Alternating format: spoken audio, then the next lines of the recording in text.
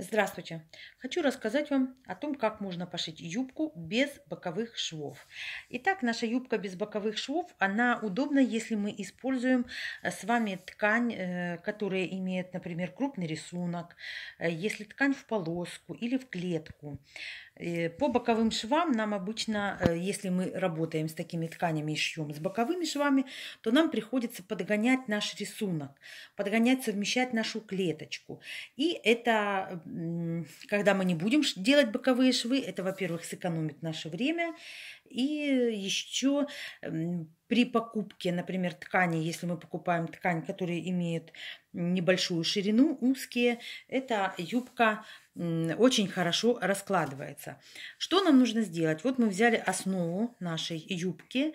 Э, поскольку боковых швов у нас не будет, то припуски на швы нам нужно исключить. То есть их нужно срезать.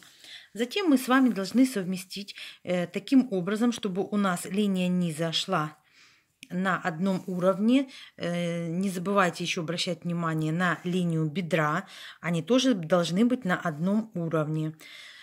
Э, затем вы, когда раскладываете вот так вот на ткань, вы просто-напросто переносите ваши выточки и зашивать вы будете именно выточки. То есть у вас просто будут выточки и один шов сзади, на котором вы и будете пришивать э, вашу застежку и молнию.